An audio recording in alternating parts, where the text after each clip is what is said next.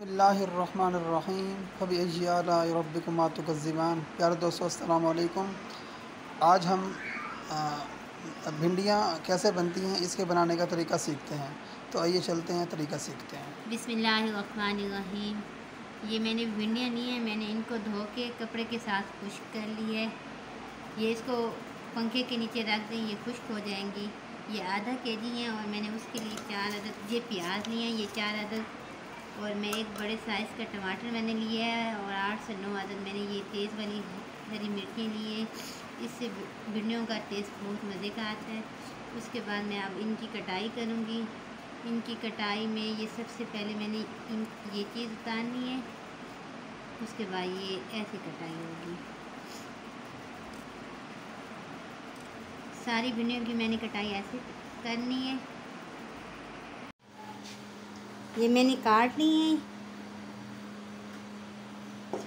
और ये मैंने प्या, प्याज काटी है।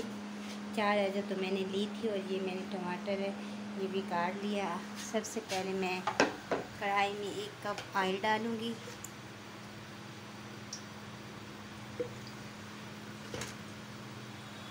इसमें मैंने टमाटर डाल देना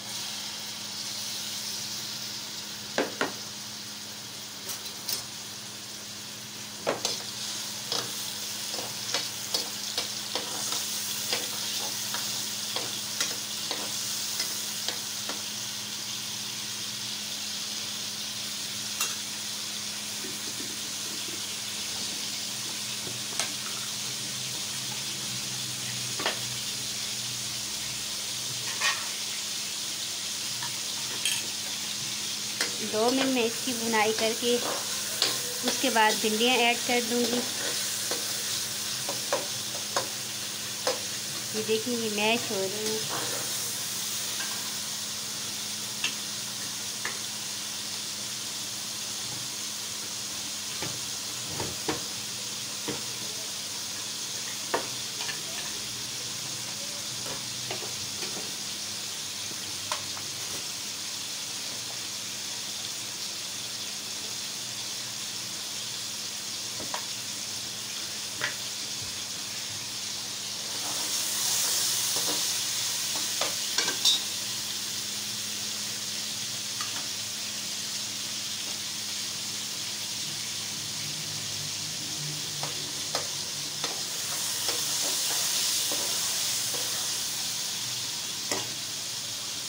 ये टमाटर हमारे अच्छी तरह मैश हो गए हैं इसके बाद ये मैं कटी भिंडियाँ और सब्ज मिर्चियाँ जो मैंने काटी थी, वो डाल दिए मैंने।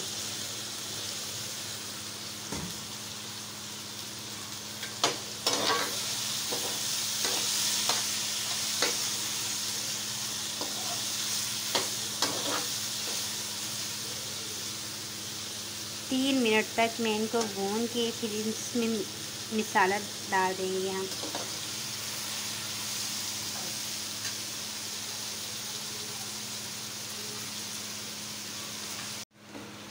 तीन मिनट हो गए ये हमारी जो इनमें लेस होती है, जो चिकनाहटपन होता है, वो निकल आता है। पहले टमाटर भूनने से ये बिल्कुल इसमें चिकनापन ख़त्म हो जाता है।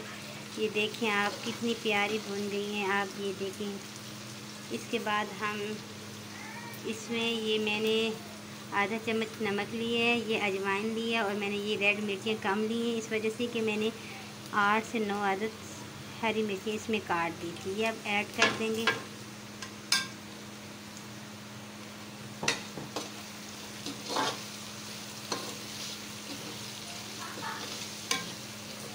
चम्मच चलाने के बाद हम इसमें प्याज ऐड कर देंगे।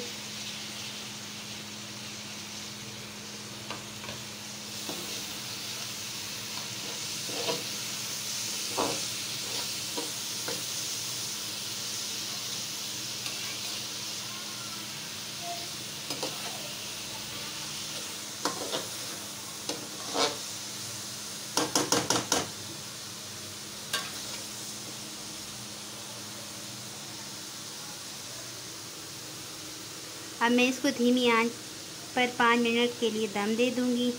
उसके बाद ये बिल्कुल तैयार हो जाएँगी।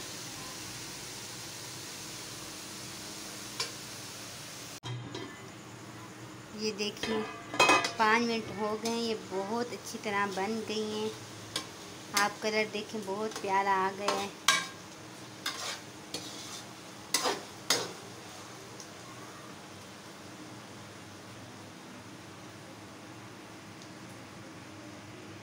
तो दोस्तों, आज की रेसिपी उम्मीद करता हूँ कि आपको अच्छी लगी होगी। घर में ज़रूर ट्राई कीजिएगा और देखते रहिए डेली किचन अब अपने मेज़बान को इजाज़त दीजिए। मिलते हैं किसी और अच्छी रेसिपी के साथ। तब तक के लिए अल्लाह हाफिज़।